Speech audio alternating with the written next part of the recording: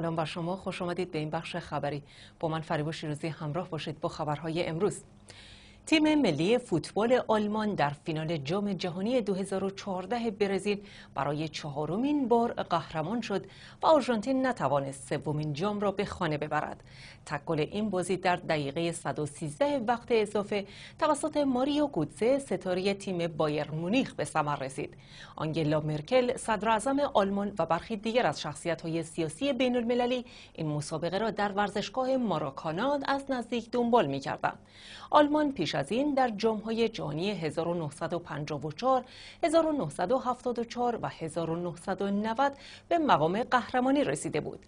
مانوئل نوئر دروازه‌بان تیم آلمان به عنوان بهترین دروازه‌بان جام شناخته شد و لیونل مسی از آرژانتین نیز عنوان بهترین بازیکن این دوره را کسب کرد. در ادامه مذاکرات وین شش و در حالی که وزرای خارجه کشورهای پنج به علاوه یک در وین هستند محمد جواد ظریف وزیر امور خارجه ایران پس از مذاکره با جانکری گفت هنوز به نتیجه نرسیده ایم. اما شش روز سخت و سنگین را برای ادامه مذاکرات پیش رو داریم. در همین حال جانکری وزیر خارجه آمریکا نیز هنگام ورود به وین تاکید کرد اختلافات عمده میان طرفین همچنان باقی است. به گزارش خبرگزاری جمهوری اسلامی ایرنا. محمد جواد ظریف در پایان دوازدهمین روز از مذاکرات وین شش بعد از دیدار و گفتگو با همتایان آمریکایی و اروپایی خود در هتل کوبورگ در گفتگو با خبرنگاران افزود. من در طول پنج ساعت گذشته همه اعضای کشورهای پنج به علاوه یک را ملاقات کردم و گفتگوهای خوبی داشتیم. ظریف گفت این دیدارها در قالب گروهی به اتفاق خانم اشتون با سه کشور اروپایی و دو جانبه با آمریکا و نیز با وزیران امور خارجه آلمان، فرانسه و انگلیس انجام شد. همچنین ملاقات هایی با مقام های چینی و روسی داشتیم. وزیر امور خارجه خاطر نشان کرد. در همه این ملاقات ها سعی کردیم با استفاده از فرصت حضور وزیران در وین تلاش کنیم تا روش های قابل توجه و نوگرایانه ای را برای حل معضلات باقی مانده و رفع موانع پیدا کنیم. ظریف در ادامه هم گفت هنوز به توافقی نرسیده ایم اما بحث ها خیلی خوب بوده و من احساس کردم که همه طرف ها با علاقه برای اینکه اگر امکان داشته باشد راهی پیدا شود برای آن تلاش می کنند و امیدواریم که همین جو با جدیت ادامه پیدا کند. وزیر امور خارجه افزود قرار است مذاکرات ادامه داشته باشد همانطوری که قبلا گفته بودیم. حضور وزرا در وین قسمتی از کار بود و پایان کار نیست و ما از روز دوشنبه کار را ادامه می دهیم ظریف همچنین در خصوص ادامه حضور جانکری در وین گفت که ممکن است وی حضور داشته باشد. وی گفت یک هفته کار بسیار سنگین در مقابل روی ماست و من اعتقاد دارم که اگر همه با تمام توان خود به جای تعیین خطوط قرمز تلاش کنند و با هم هم فکر باشند به نتیجه خواهیم رسید. ظریف در پاسخ به این سوال که بحث ها در مورد ظرفیت غنیسازی و تعداد سانتریفوژ ها به کجا رسیده است گفت بحث در مورد همه موضوعات ادامه دارد و در مورد همه موضوعات مذاکره و تلاش می کنیم تا راهی پیدا کنیم. در همین حال جانکری وزیر خارجه آمریکا که برای خارج کردن دور ششم مذاکرات وین از بمب است همراه با همتایان غربی خود در این گروه به اتریش سفر کرده است پس از مذاکره با ظریف با بیان اینکه مذاکرات خوبی با وزیر خارجه ایران داشتیم گفت باید همچنان به مذاکره ادامه دهیم تا به نتیجه ای برسیم وی جزئیات بیشتری از این مذاکرات را بیان نکرد. آقای کری اما روز یکشنبه در سخنانی گفته بود مشخص است که ما همچنان شاهد برخی شکاف های معنیداری هستیم. لذا باید ببینیم که آیا می توانیم پیشرفتی را رقم بزنیم یا خیر. وی گفته بود بسیار حیاتی است به این قطیت برسیم که ایران به دنبال ساخت سلاح هسته‌ای نیست و اینکه برنامه اتمیش صلحآمیز است. به همین دلیل ما اینجا هستیم تا در این زمینه تلاش کرده و دستاوردی داشته باشیم و امیدواریم که بتوانیم به پیشرفت نهایی دست پیدا کنیم. در همین حال تلویزیون سراسری ایران گفت که هیئت مذاکره کننده ایرانی خواستار توقف موقت گفتگوهای هسته‌ای به مناسبت شبهای قدر است. گوینده اخبار تلویزیون ایران مشخص نکرده که درخواست تیم ایرانی توقف مذاکرات در هر سه شب قدر است یا خیر. پس از انتشار این خبر یکی از اعضای تیم مذاکره کننده هسته ای ایران آن را تکذیب کرد و گفت هیچ یک از اعضای هیئت ایرانی چنین درخواستی نکرده است. در خبر مرتبط دیگری هم ویلیام هیگ وزیر امور خارجه بریتانیا پس از مذاکرات عصر یک شنبه به خبرنگاران گفت که ایران باید با موضوعات واقع بینانه تر برخورد کند. فرانک والتر شتاینمایر وزیر امور خارجه آلمان که در وین حاضر است نیز به خبرنگاران گفت که ایران یا باید با خواسته های جامعه جهانی همراهی کند یا همچنان در انزوا باقی بماند. وی اظهار داشت. امروز برای نماینده ایران روشن کردیم که این کشور دو گزینه دارد. مسیر همکاری با جامعه بین المللی یا باقی ماندن در انزوا. وزیر امور خارجه آلمان تصریح کرد که شش قدرت جهانی امروز یک شنبه موافقت کردند که در مذاکره با تهران موضع واحد خود را حفظ کنند. به گفته وی توپ در زمین ایران است. آقای شتاینمایر همراه با لوران فابیوس وزیر امور خارجه فرانسه موضع دیگر همتایان آمریکایی و بریتانیایی خود را تکرار کردند که دستیابی به توافق میان طرفین هنوز نامشخص است. در اظهار نظر دیگری معاون وزیر امور خارجه چین که در وین حضور دارد از قدرت‌های جهانی و ایران خواست تا در دور ششم مذاکرات هسته‌ای از خود انعطاف نشان دهند. به گزارش خبرگزاری فرانسه لی با دوئنگ اظهار داشت ما از همه طرفها می خواهیم که برای دستیابی به یک توافق جامع انعطاف و خواست سیاسی خود را نشان دهند.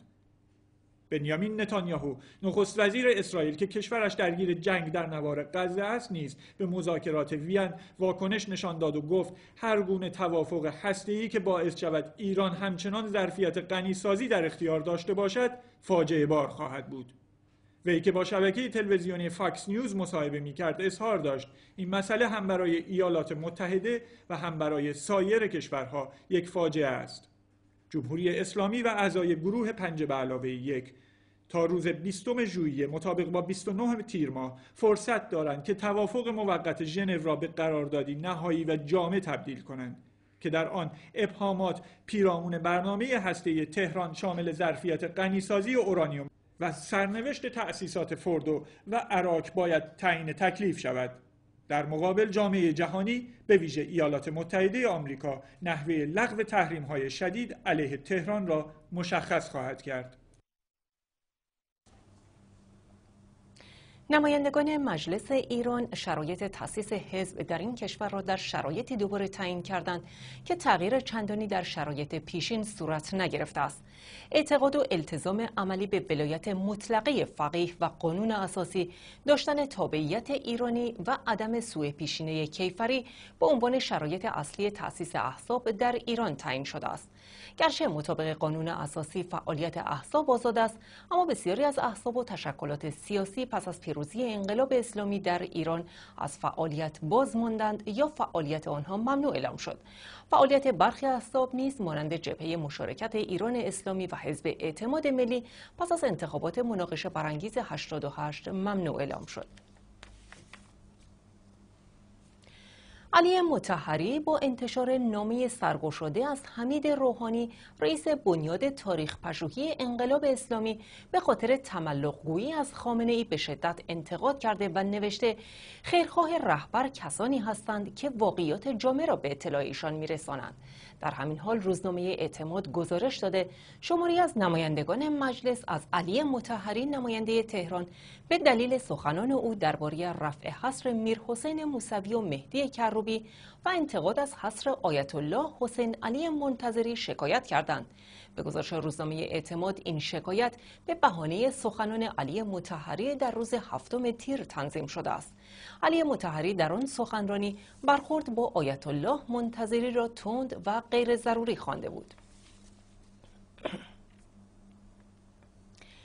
خبرگزاری هرانو ارگان خبری مجموعه فعالان حقوق بشر در ایران. خبر داد مهدی خزعلی پزشک و فعال سیاسی آزاد شده است. او که بر اثر یک اعتصاب غذا سکته قلبی کرده و به بیمارستان منتقل شده بود از بیمارستان راهی خانه شد. آزادی وی پس از دیدار نماینده دادستان تهران و گزارش او مبنی بر وخیم بودن حال مهدی خزعلی اعلام شد. پسر مهدی خزعلی در فیسبوک خود نوشت اموهایش مانع دیدار او با پدر بزرگش آیت الله خزعلی می شوند. حسن روحانی رئیس جمهوری اسلامی در نشست مشترک دولت و مجلس از ارائه بسته پیشنهادی و لایحه دولت برای شکستن رکود و رونق اقتصادی خبر داد. احتمال دارد این بسته پس از پایان این دور از مذاکرات هسته‌ای منتشر شود. شب گذشته نشست مشترکی ما بین دولت حسن روحانی و مجلس شورای اسلامی برگزار شد که طی آن رئیس جمهوری اسلامی در سخنانی خبر داد که بسته پیشنهادی و لایحه دولت برای شکستن رکود و رونق اقتصادی به زودی منتشر می شود. به گزارش سایت ریاست جمهوری آقای روحانی گفت اکنون وظیفه بزرگ ما شکستن رکود است. ما لایحه‌ای برای ایجاد رونق اقتصادی طراحی کرده ایم که به زودی در اختیار نمایندگان قرار خواهیم داد و بسته آن نیز برای شکستن رکود به زودی اعلام می شود. روحانی در سخنان خود تایید کرد که اقتصاد ایران به دلایل مختلفی نظیر تحریم ها و سوء مدیریت ها دچار مشکل شده و افزود باید در مسیر درمان اقتصاد کشورمان حرکت کنیم. حسن روحانی در بخش دیگری از سخنان خود گفت امروز متاسفانه امر به معروف و نهی از منکر طوری تفسیر می شود که گویا امر به معروف فقط در خیابانها و برای برخورد با ادعی بدهجاب است. و اضافه کرد اگر دولت در مسیر درستی حرکت می کند حمایت از دولت بزرگترین معروف است و مجلس نیز وظیفه نظارت دارد. پیش از سخنان آقای روحانی در جلسه مشترک دولت و مجلس احمد سالک رئیس کمیسیون فرهنگی مجلس با طرح دیدگاه های خود درباره حجاب، امر به معروف و نهی از منکر و کاهش جمعیت از دولت خواست تا با تدوین برنامه های عملی در رفع دقدقه های فرهنگی افرادی که او آنها را متدینین جامعه خواند گام بردارد. سخنان حسن روحانی درباره دخالت در زندگی مردم و دین در ماهای گذشته باعث اعتراض تعدادی از عمه جمعه شده بود. حسن روحانی روز سوم خرداد بود که گفته بود نمی شود مردم را با زور و شلاق به بهش فرستند. در همین حال فشارها بر مردم هم بیشتر شده و روز گذشته فرمانده نیروی انتظامی استان فارس از اجرای دو مورد حکم هشتاد ضرب شلاق به اتهام تظاهر به روزخاری در شهر شیراز خبر داد. احمد علی گودرزی فرمانده انتظامی استان فارس با بیان نام اختصاری دو نفر از شهروندان ایرانی اعلام کرد که آنان به اتهام تظاهر به روزخاری به هشتاد ضرب شلاق محکوم شدند و این حکم درباره آنان اجرا شده است. رئیس جمهوری در پایان سخنان خود در نشست مشترک با مجلس هم گفت که اگر سه قوه بخواهند علیه دیگر مجگیری کنند کار مردم بر زمین میماند. وی تاکید کرد که دولت و مجلس باید کاری کنند تا مردم از اقداماتشان احساس جناهی عمل کردن نداشته باشند. گفتنی ساکنون پنج وزیر از دولت حسن روحانی از مجلس کارت زرد گرفتند. در هفته های گذشته تعدادی از نمایندگان مجلس از ارائه طرح استیزاه رضا فرجی دانا وزیر علوم دولت روحانی خبر داده بودند. این استیزاه پس از برگزاری جلسه بین استیزا کنندگان و وزیر علوم فعلا یک ماه به تعویق افتاده است. با این حال چهرهای سیاسی از عزم جدی مجلس برای این استیزا خبر دادند. پس از دو روز مذاکرات فشرده جان کری وزیر امور خارجه آمریکا با عبدالله عبدالله و اشرف غنی احمدزی دو نامزد رقیب و دیگر مقامات افغانستان تصمیم گرفته شد که از دیروز یک شنبه تمامی آرای دور دوم انتخابات ریاست جمهوری این کشور بازشماری و تفتیش شود. به گفته وزیر امور خارجه آمریکا این بازشماری با نظارت بین المللی انجام می شود و برای آن تمام برگه های رای از تمام استانهای افغانستان از سوی نیروهای آیساف به کابل منتقل می شوند. جانکری افسوده است هم آقای عبدالله و هم آقای احمد زی تعهد دادند که نتایج بازشماری آرا را بپذیرند و هر کدام که به ریاست جمهوری رسیدند برای تشکیل دولت وحدت ملی اقدام کنند. عبدالله عبدالله نامزد معترض به نتایج انتخابات ریاست جمهوری افغانستان است که مدعی تقلب گسترده در روند انتخابات و شمارش آرا شده است. صدها نفر از فلسطینیان ساکن شمال نوار غزه از بیم حملات اسرائیل از خانه هایشان گریختند. در همین حال سازمان ملل می‌گوید چهار هزار نفر فرار کرده و در پناهگاه های موقت اسکان یافتند.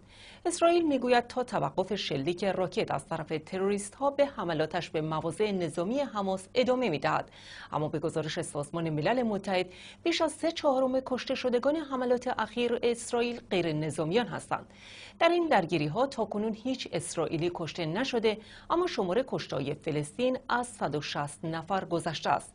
رهبران قدرت های جهانی از جمله آمریکا و بریتانیا طرفین را به برقراری آتش بس دعوت کردند. در شهرهای مختلف جهان نیز تجمعاتی در حمایت از فلسطینیان برگزار شد.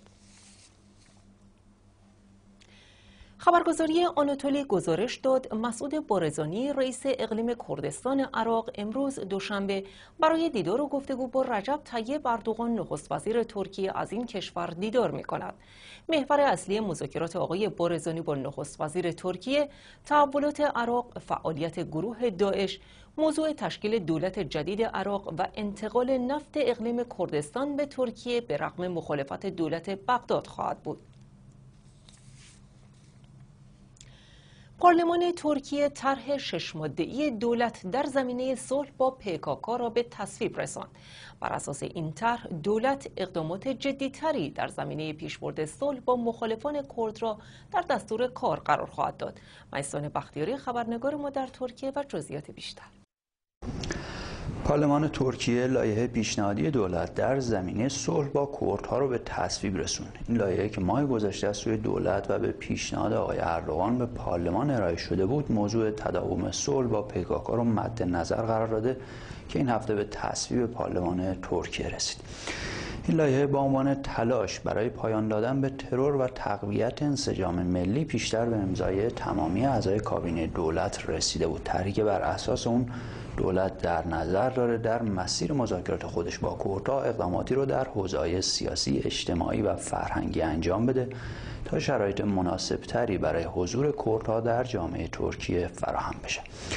جدا از این نکته نکته مهمتری هم که این لایحه مد نظر قرار داده این هستش که بخش زیادی از اعضای پکاکا که سلاح خودشون رو زمین گذاشتن این امکان رو خواهند داشت که به جامعه ترکیه بازگران این قانون همینطور این مسئولیت رو برای اعضای دولت و کلیه مسئولینی که در مسیر پیشبرد صلح مذاکراتی رو با پکاکا انجام میدن قائل شده. بنابراین بر اساس این طرح که در واقع به تصویب رسیده. از این پس اعضای دولت مسئولین و افرادی که مذاکراتی رو در این زمینه با پکاکا خواهند داشت تحت پیگرد قانونی بازجویی و یا بازداشت قرار نخواهند گرفت.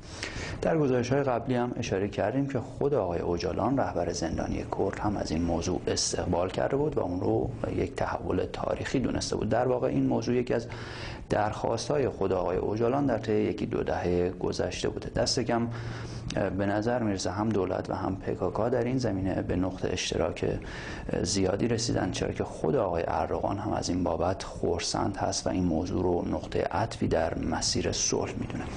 حالا البته بحث ها در این زمینه زیاد هستش. برخی معتقدن تصویب این لایحه در آستانه انتخابات ریاست جمهوری تلاش برای جذب آرای کردها از سوی آقای اردوغان هست و یا از آن سو احزاب مخالفی همچون حزب حرکت ملی این موضوع رو بر نمیتابه و اون رو برخلاف مسائل ملی کشور می‌دونه. اما از طرف دیگه آقای صلاح الدین دمیرتاش نماینده کردتبار پارلمان ترکیه و یکی از سه نامزد کنونی انتخابات ریاست جمهوری روز گذشته در ادامه فعالیت های انتخاباتیشون هم به این موضوع اشاره کردن و در واکنش به این پرسش که در صورت انتخاب شدن به عنوان رئیس جمهور ترکیه از روند طرح اصلاحات دموکراتیک چگونه حمایت خواهند کرد ایشون گفتن که دوست دارم رئیس جمهوری باشم که در کوتاهترین زمان ممکن صلح رو برقرار می‌کنم.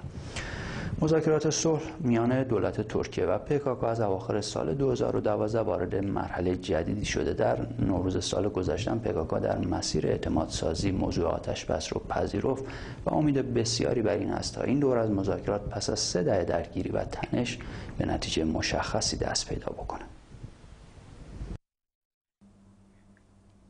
مردان مسلح ناشناس دست کم 29 نفر را در بغداد در ساختمانی که گفته شده یک روسپیخانه بوده به ضرب گلوله از پای درآوردند. از انگیزه این حملات اطلاع دقیقی در دست نیست و هنوز هیچ گروهی مسئولیت آن را بر عهده نگرفته است. بنا به گزارش آسوشیتد پرس بر سر در یکی از این خانه ها نوشته شده این است سرنوشت تنفروشی. سال گذشته نیز به یک روسپیخانه در این محله حمله شد و طی آن هفت زن و پنج مرد به ضرب گلوله به قتل رسیدند. دومین جلسه نمایندگان مجلس عراق برای انتخاب رهبری سیاسی جدید این کشور به دلیل اختلاف نمایندگان بر سر تعیین رئیس مجلس بی نتیجه ماند. نمایندگان شیعه با نمایندگان سنی بر سر سپردن ریاست مجلس به سلیم جبوری به توافق نرسیدند. پارلمان عراق بار دیگر در جلسه روز 22 تیر ماه خود برای پایان دادن به بنبست سیاسی و رسیدن به توافق بر سر انتخاب رئیس جمهوری نخست وزیر و رئیس پارلمان ناکام ماند. عمده مسئله مورد اختلاف انتخاب نخست وزیر و تشکیل دولت جدید عراق است. به گزارش رسانه ها پس از جلسه کوتاه که صبح یکشنبه برگزار شد، مسئولان پارلمان عراق اعلام کردند که این جلسه تا روز سهشنبه به تعویق افتاده است. نوری المالکی نخست وزیر شیعه عراق که در رأس ائتلاف دولت قانون بزرگترین فراکسیون پارلمان این کشور قرار دارد برای سومین دور نخست وزیری خود تلاش می کند. آقای المالکی اما با مخالفت سنی ها و کردها روبروست که او را به تبعیض مذهبی و نژادی علیه خود متهم می کنند. احزاب شیعه رقیب المالکی هم امیدوارند بتوانند به نخست وزیری او پایان دهند. بحران سیاسی عراق در سایه حمله شبه نظامیان اسلامگرا و در رأس آنها گروه دولت اسلامی عراق و شام موسوم به داعش که از ماه گذشته بخشای وسیعی از شمال این کشور را تصرف کرده است اهمیتی دوچندان یافته است شبه نظامیان اکنون به فاصله چند صد کیلومتری بغداد پایتخت عراق رسیدند. تصرف شهرهای بزرگ در شمال عراق که سنی نشین هستند توسط گروه داعش باعث شد که مخالفان مالکی بیش از پیش بر کنارگیری او از قدرت تاکید کنند. به نظر می رسد اختلاف بر سر آینده المالکی توافق بر سر نامزدهای رئیس جمهوری و رئیس پارلمان را نیز با مانع مواجه کرده است منابع خبری داخل عراق گزارش دادند که فراکسیون های سنی سلیم الجبوری را که یک اسلامگرای میان روز برای ریاست پارلمان نامزد کردند.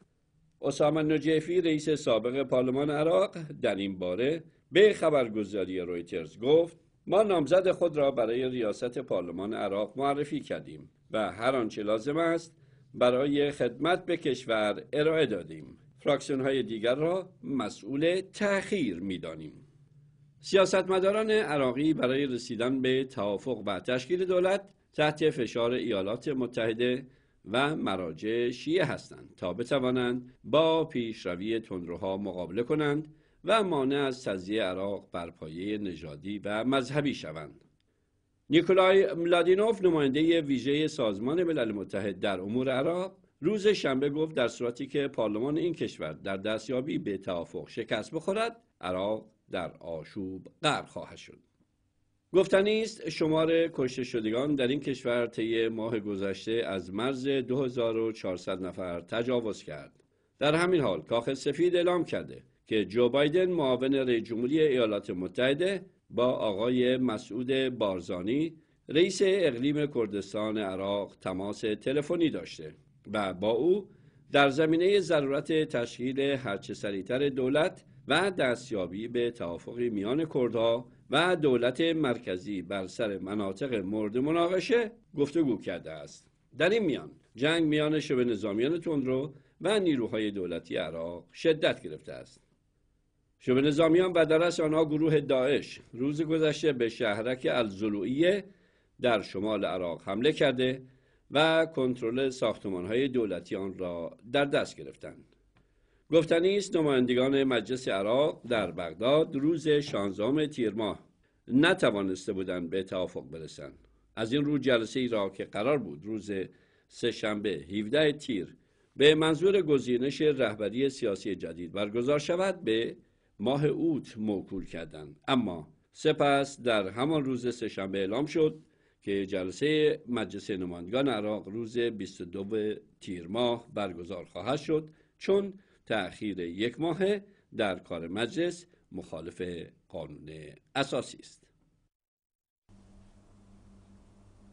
محمد یزدی رئیس جامعه مدرسین حوزه علمیه قوم با بیان اینکه استادان دانشگاه نمی‌توانند درباره دین اظهار نظر کنند گفته است فیلسوف ها و دانشمندان غلط می کنند درباره حلال و حرام بودن موسیقی نظر دهند.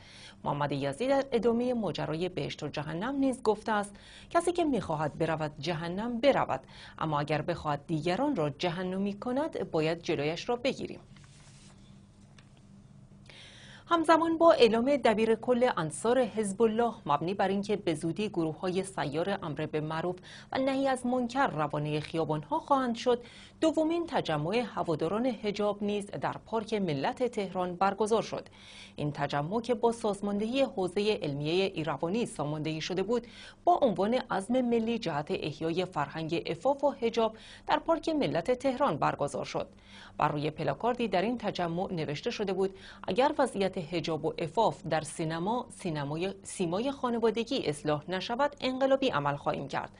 اخیرا بیش از گذشته بر مشارکت مردم در کنترل پوشش تاکید شده و با سیاست های حکومت مبنی بر ضرورت امر به معروف و نهی از منکر مسئله برخورد با نوع پوشش شخصی و سلیقه‌ای شده است. هشت فعال شبکه اجتماعی فیسبوک از سوی دادگاه انقلاب اسلامی در مجموع به 127 سال زندان محکوم شدند. این افراد تعدادی این افراد تعدادی صفحه فیسبوک را مدیریت می‌کردند که از تیر ماه سال 92 با پیگرد قرارگاه سارالله یکی از قرارگاه‌های امنیتی سپاه پاسداران روبرو و بازداشت شدند. رسانه های ایران خبر دادند که هشت فعال شبکه اجتماعی فیسبوک از سوی دادگاه انقلاب اسلامی در مجموع به 127 سال زندان محکوم شدند. به گزارش خبرگزاری جمهوری اسلامی ایرنا شعبه 28 دادگاه انقلاب هشت جوان فعال در فیسبوک را به اتهاماتی از جمله اجتماع و تبانی علیه امنیت ملی، فعالیت تبلیغی علیه نظام، توهین به مقدسات، توهین به سرانه قوا و توهین به اشخاص در مجموع به حدود 127 سال حبس محکوم کرد. این افراد تنها تعدادی صفحه در فیسبوک را مدیریت می کردند و سپاه آنها را پس از شناسایی دستگیر کرد.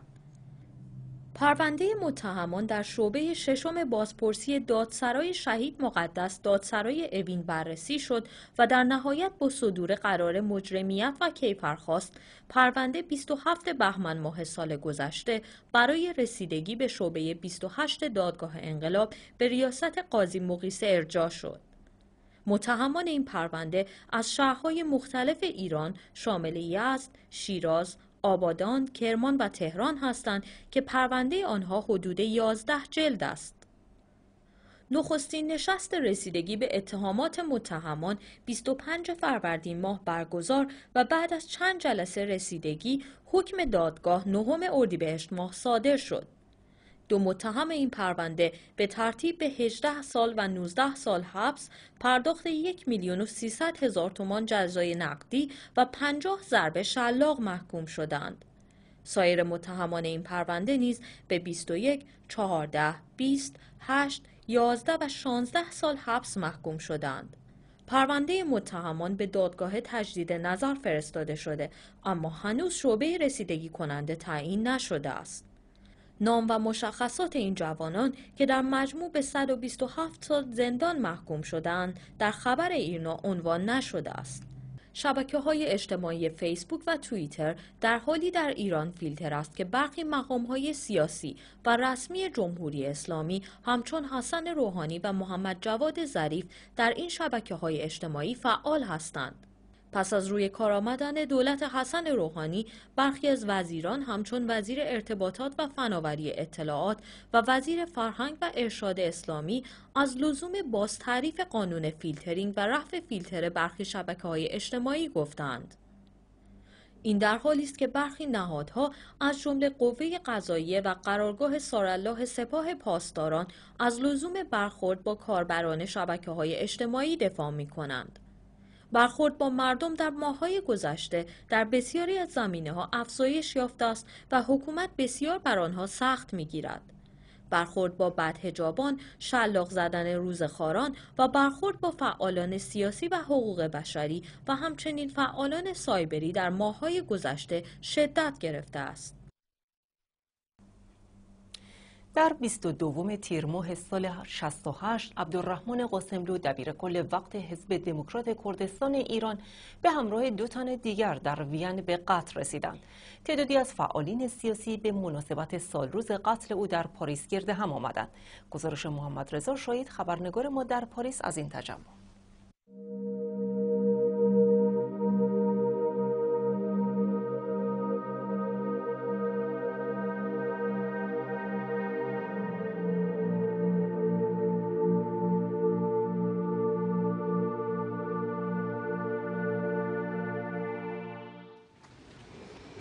قاسملو موقعی که بعد از انقلاب فعالیت سیاسی خودش رو شروع کرد.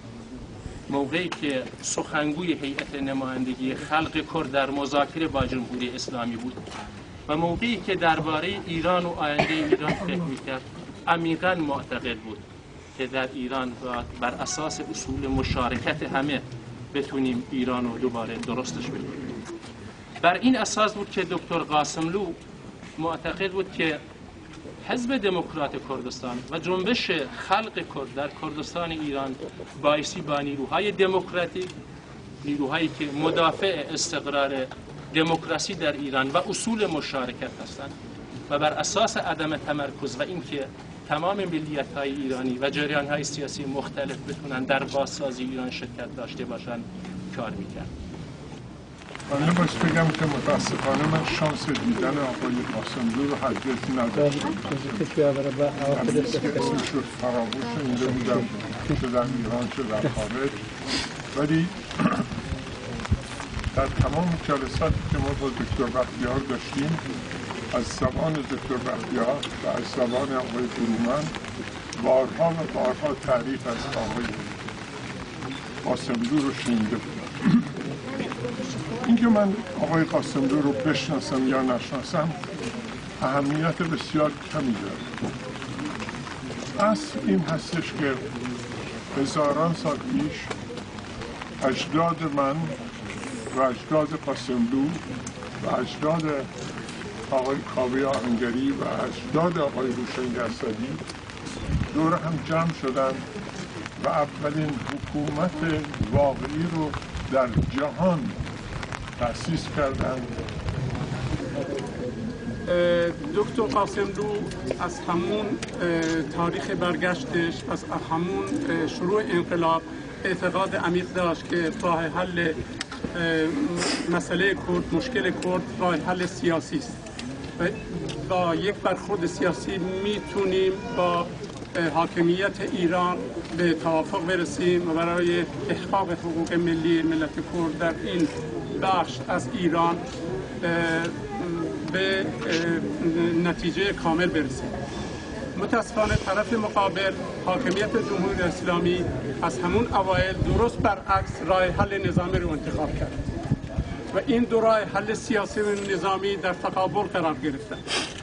و متاسفانه کار به جایی کشید که آقای دکتر قاسملو با ادامه و با اعتقاد به همون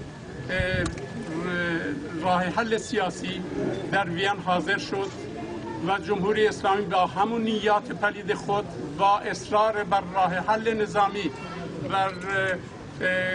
بر برای مشکل کرد مسئله کرد ایشون رو در شهر وین با یارانش با وقیح ترین وجه به شهادت رسونده